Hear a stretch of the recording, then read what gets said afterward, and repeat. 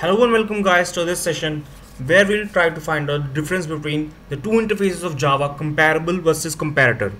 So at the end of this lecture I hope that everyone will be clear uh, what these two interfaces are, in which situations we should use them and any such difference. So for this we'll use the help of a class called employee and let's see how we proceed with it and find out the difference between these two interfaces so let's create a class employee. So public class employee. Now the first thing which we need to do is this class should implement the comparable interface.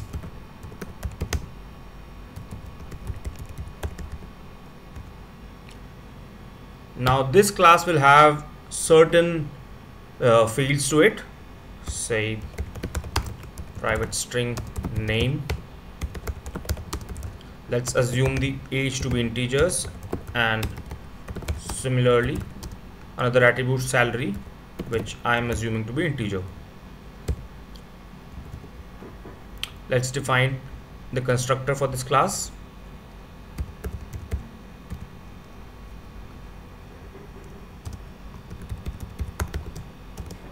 This will have the three parameters name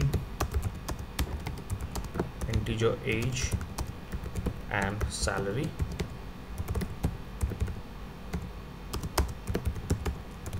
This dot age is equal to age. Similarly assigning this salary. Let's add some getters for this as well get name. Return name?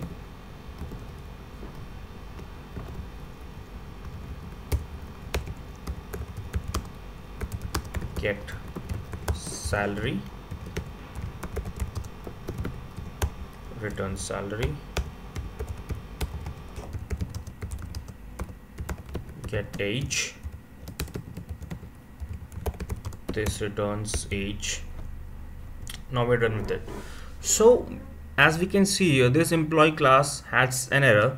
And this is basically let's over it and find out. The type employee must implement the inherited abstract method compare to. So let us override the function compare to which we'll use to compare. So how we go about it? Let's see. Public int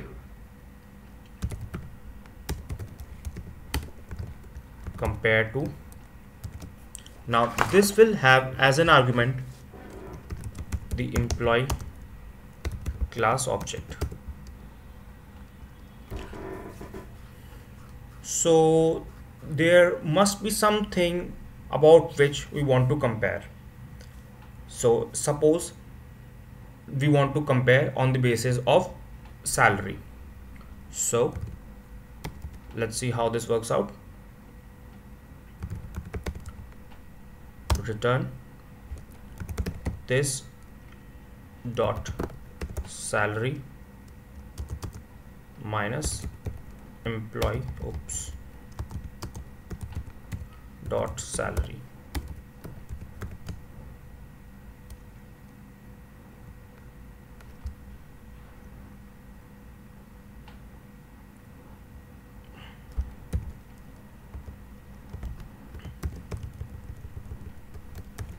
now this will give the difference between the current object salary and the object which are passing to it. Now as we can see the error has gone over here. This will use to compare the salary. Now what we have actually done with this class is when we implement the comparable interface we have defined a particular sorting order for this class.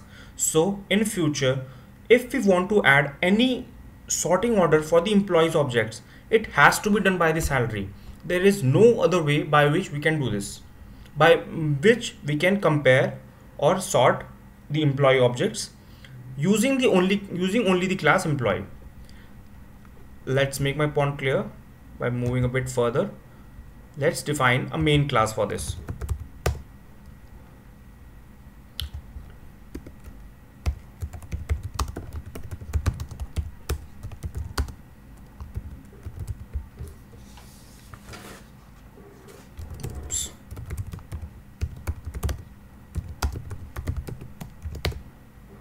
so in this function what I'm going to do is create an array list of the employee type. Let's name it list.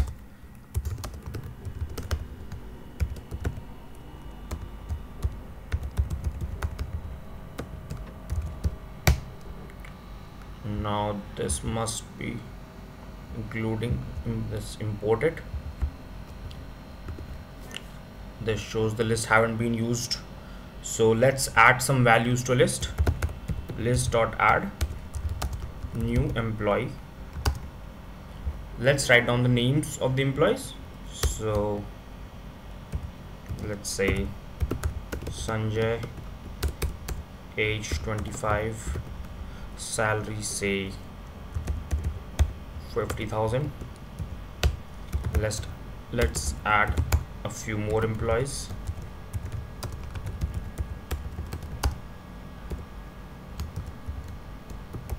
Mahesh age 20 salary 30,000 another employee.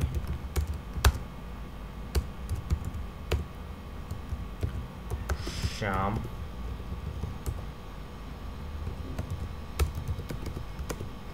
age say 28 salary being 45,000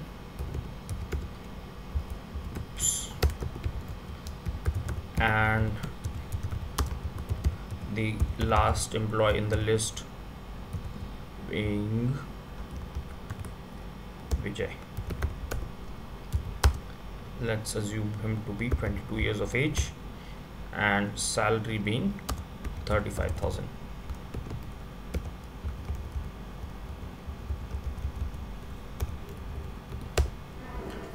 so in the beginning what this looks list looks like let's print it.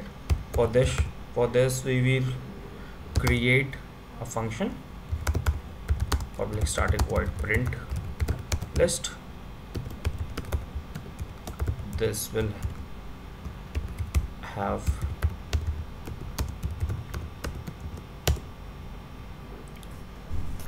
so how we print this list for employee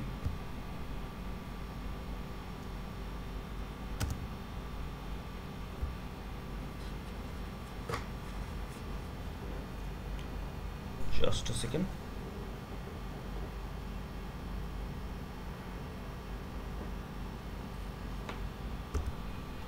For employee in list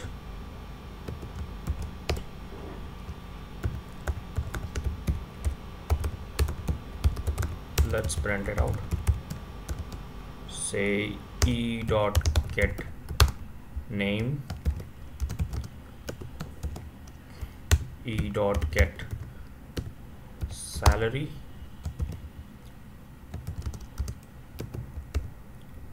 Plus e dot get age.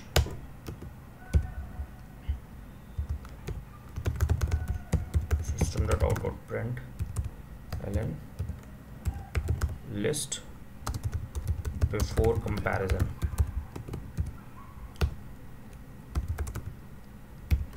Print list.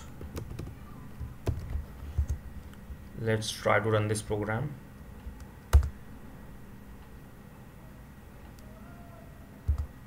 So as we can see here this is the initial list.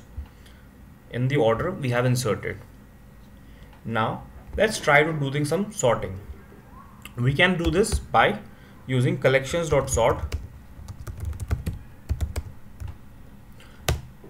collection.sort list. Now what happens when we pass list? On which basis this list will be sorted? This we have defined in the employee class employee class here in the compare to method. Now the employees will be sorted on the basis of their salaries. So we have done this sorting and now see what's the result of the list?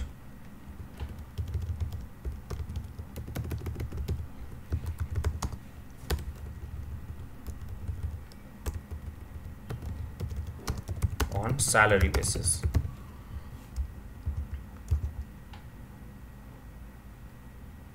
Run as java application. Oops some error not save the program. Now as we see here what we had done in the employee class we have sorted on the basis of their salary. So here these employee get sorted on the basis of their salary. As you can see here before the comparison the order was this and after the comparison on the basis of list on the basis of salary this list is sorted. Now as we have defined the comparable interface as we have extended this implement this. This compare to method is overridden and we have uh, defined this so uh, the comparison order on the basis of salary. Now what if if i want to sort out the uh, list on the basis of any other attribute of the class say name? How do we achieve that? For this we have the compare comparator interface. Let's see how we do that see I, uh, so I create another class uh, and let's name it name compare. Okay. So this name compare will implement the comparator.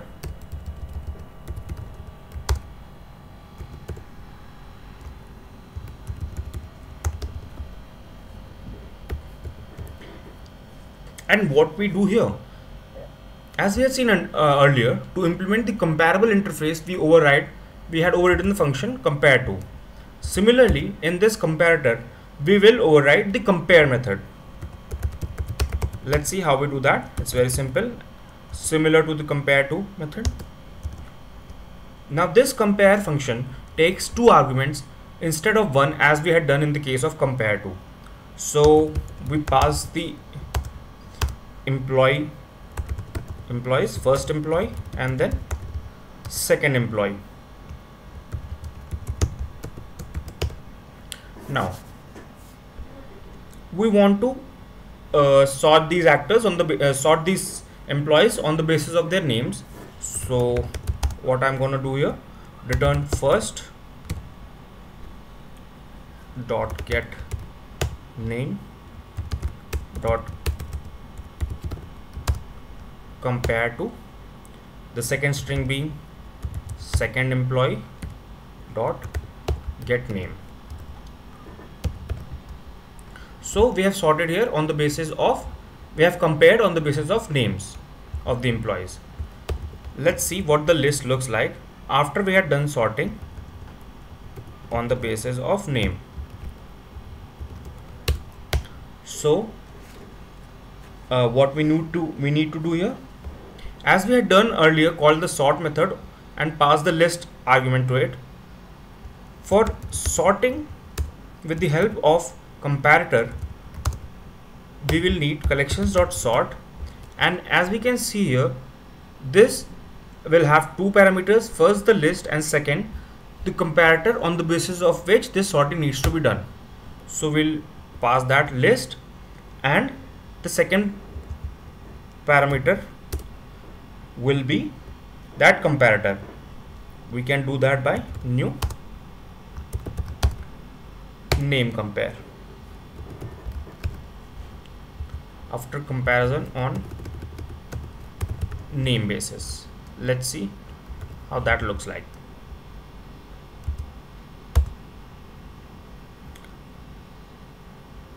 See.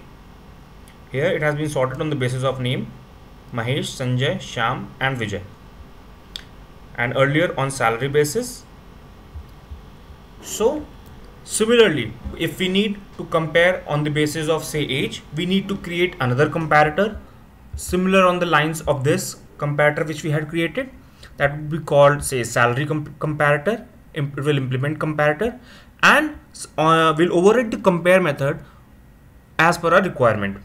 So in the end whatever sorting on whatever logic we used to implement for sorting we can use that. So in short when we use when we use comparable we need to override the compare to method and when we uh, implement the comparator we need to override the compare method. What comparable do is that property is attached to a class. If we want to sort it by some natural order uh, the, which will be defined by the class we can do that. If we want to add any other method any other way of comparing or sorting we, we need to write our own comparators. And we can achieve uh, any other any other sorting order which we need. So I hope this clears out the difference between comparator and comparable. So uh, a few more difference being that the comparable interface is defined in the java.lang and comparator is in your java.util. So I hope this lecture clears out your doubts regarding comparison and comparator. Please feel free to comment down, comment for any other doubts you have. I'll surely try to solve them. Thank you.